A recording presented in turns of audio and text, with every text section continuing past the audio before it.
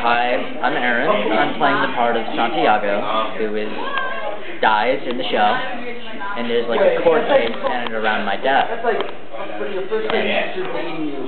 a great show. I, audition, I auditioned for it because I enjoy drama. I just enjoy drama. I don't have any reason. Um, come see the show. It's good.